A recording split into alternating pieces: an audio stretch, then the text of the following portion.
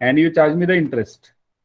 So what do you do? Okay, you say you'll uh, pay him some amount. If it's for hundred dollars, you'll pay him say ninety dollars, and uh, then you'll charge some interest to him. Right? That's the way it's done.